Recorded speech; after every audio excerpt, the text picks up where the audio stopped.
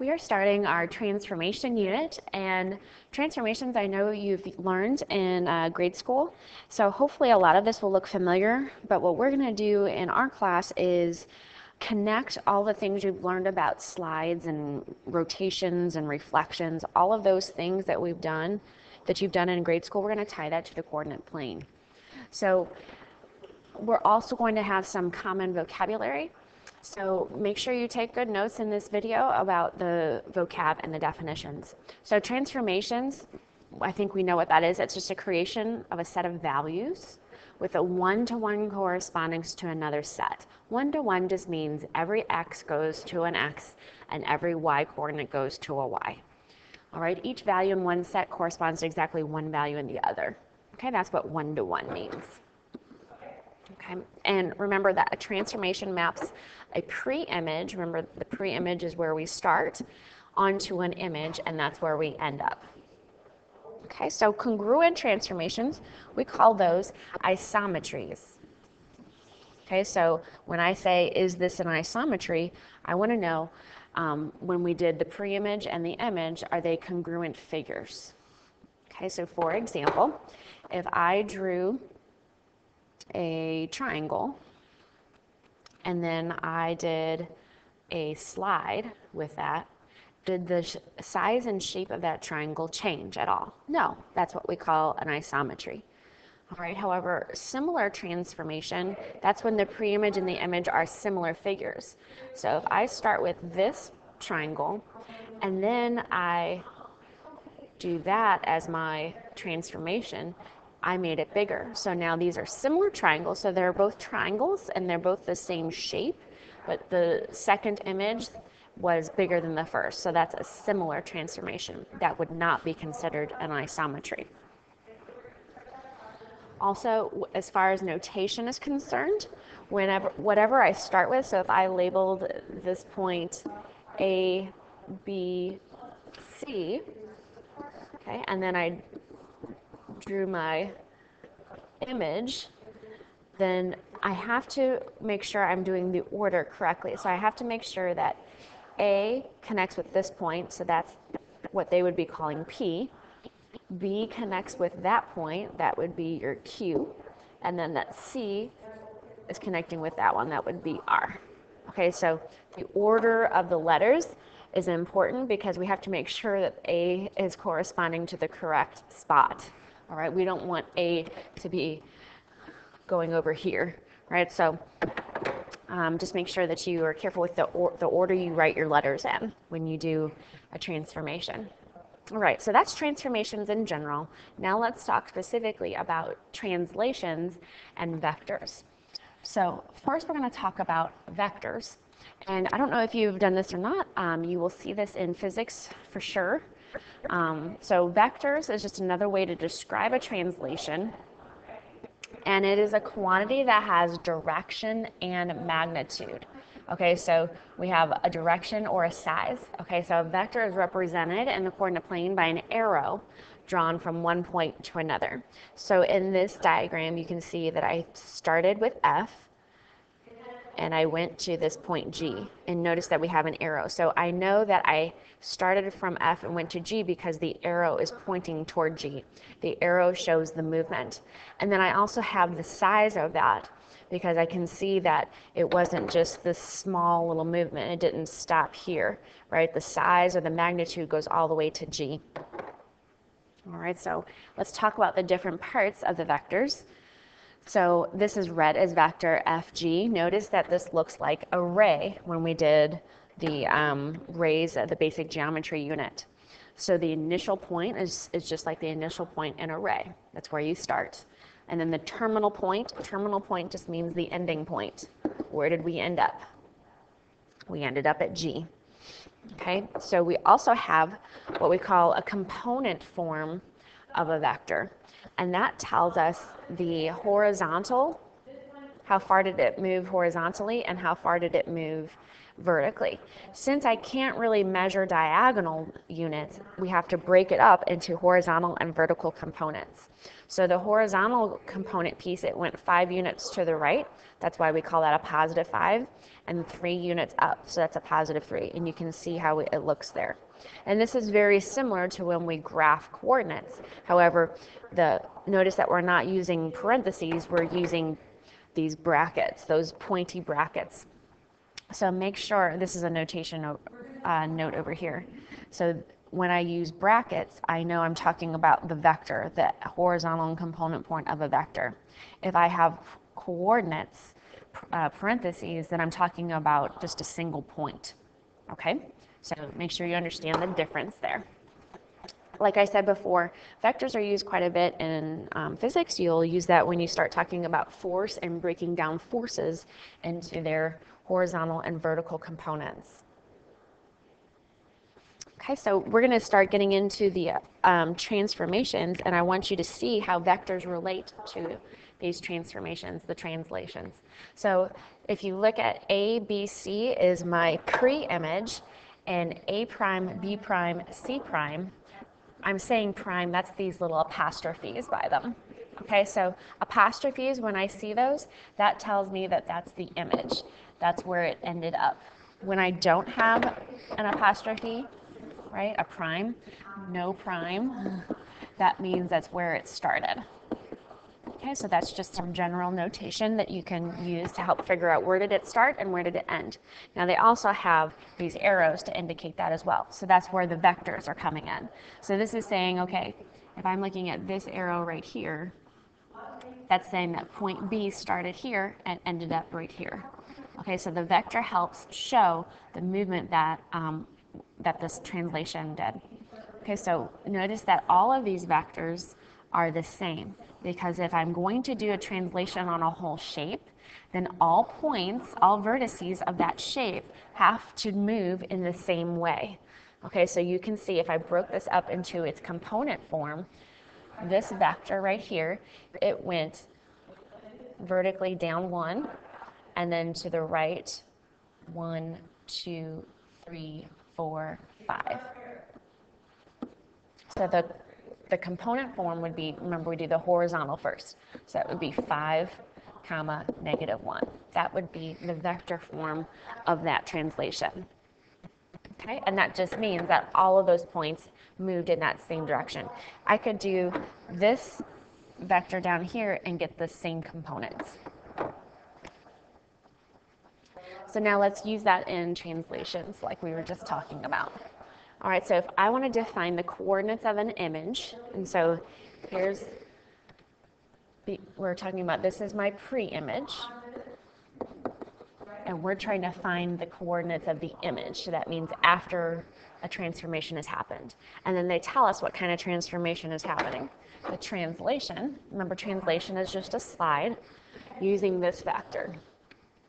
Okay, um, a, a, notation comment here. This is the component form of vectors, but you can also write a transformation using this notation. So this says we start with the coordinates x comma y, and then in order to get to the image, in order to get to the after the transformation part, we're going to take our x coordinate and subtract 5, and we're going to take our y coordinate and add 7. Okay, so that's just saying the same thing as that vector is saying. So let's do that with uh, point A. A is 3, 2, which I already have graphed. So I'm going to take my x coordinate, which is 3, and I'm going to subtract 5 from it. So I'm going to move left. So 1, 2, 3, 4, 5. That's not where I end up, though, because I also have to um, take my y coordinate, which is 2, and add 7 to it. So I need to go up 7. One, two, three, four, five, six, seven. All right, so that's where I end up. I would label that as A prime to show that that's the image of A. So my image of A is going to be A prime, and the coordinates of that, this coordinate is negative 2 comma 9. Negative 2 comma 9. If you are more of an algebraic person, and it was just asking you for the image, you might really like this notation because all you have to do is take our 3 comma 2 and then subtract 5 and then add 7. So if I do that, then I'm going to get negative 2 comma 9. And I didn't have to do anything visually. If you're more of a visual person, you will like the movement that we just did. All right, so now what we're going to do is talk about lines of symmetry. So we have different kinds of symmetry. We have line symmetry, which I'm sure you're familiar with. Remember that is just um, when we can, um, a figure can be mapped onto itself by a reflection in a line. So if you look at the letter A, if I were to draw a line here, then this folding, this part, does not match up to the top part. Same thing here.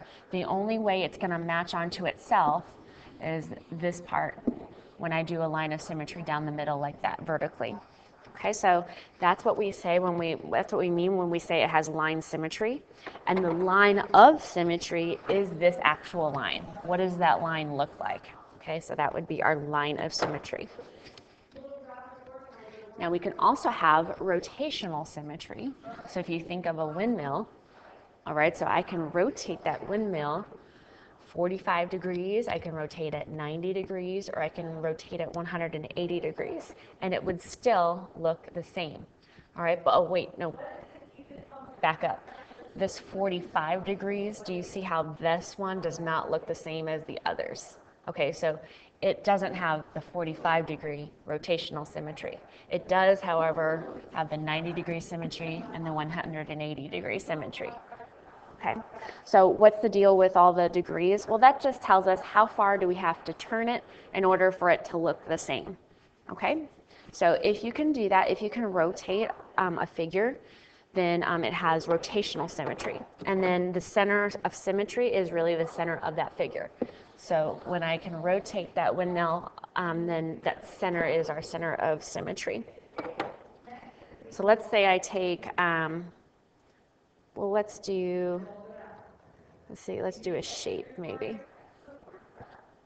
Let's do an oval. Oh, that's not what I want. So if I take this oval, can I rotate this around so that it looks the same? So if I do 45 degrees, no, that doesn't look the same as we started.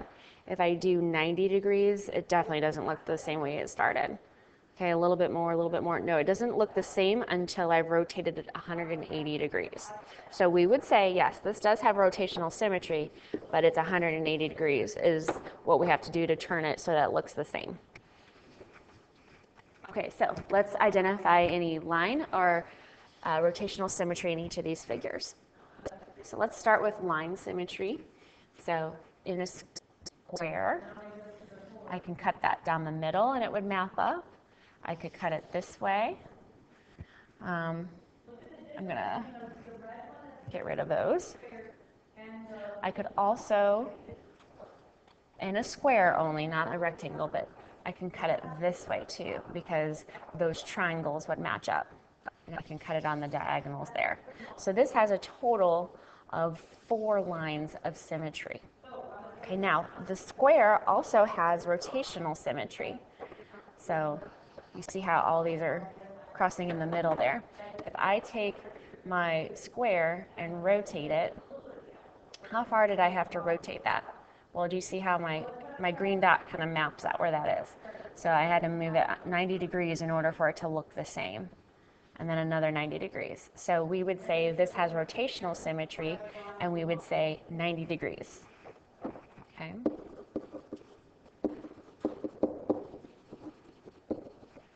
So let's do the trapezoid.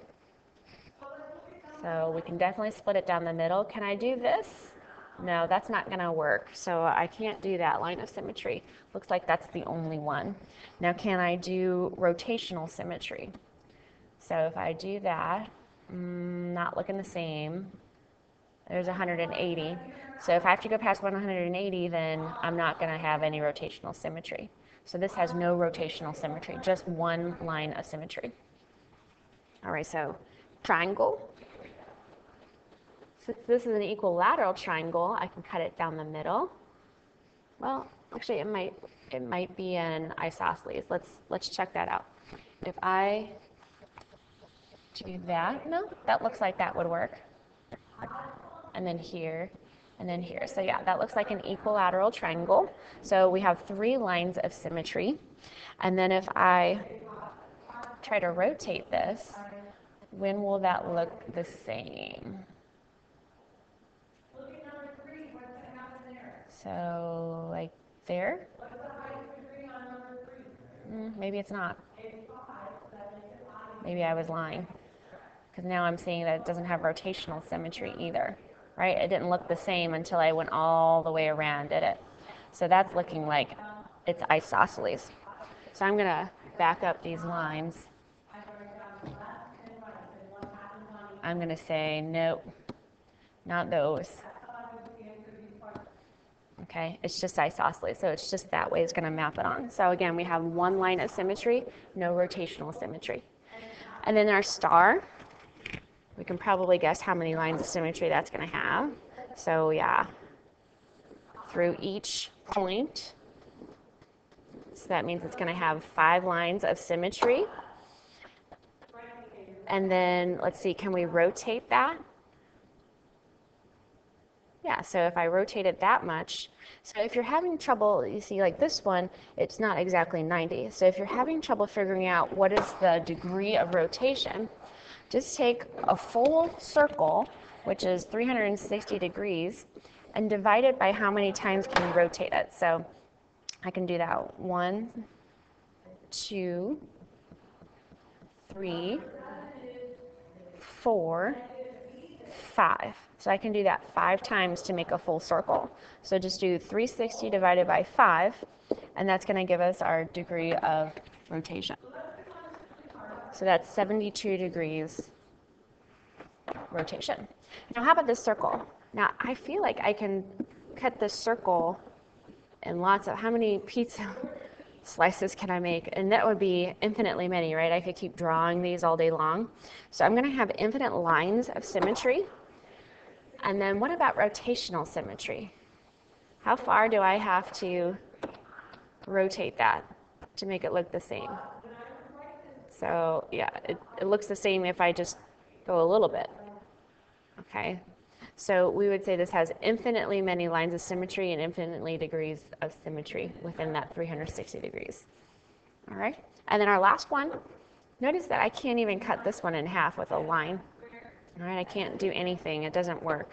So I have no lines of symmetry for that arrow. And then again, I cannot rotate this either. So that one has neither lines of, or points of symmetry. So we'll do a lot more practice in class, and please ask questions if you need to.